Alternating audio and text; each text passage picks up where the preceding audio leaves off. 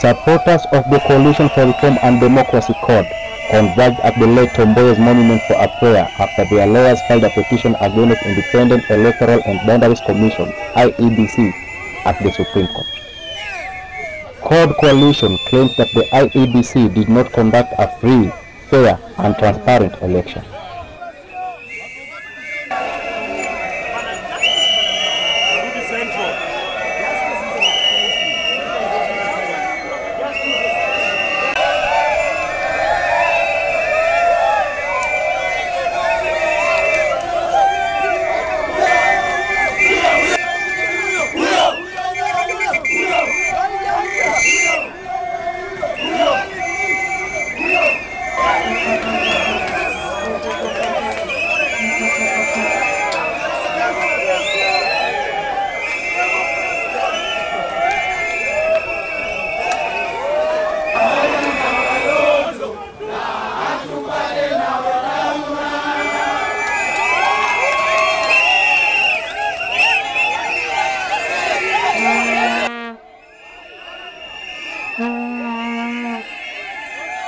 Reporting for Madare in Motion at the Supreme Court Nairobi, I'm Richard Chapi.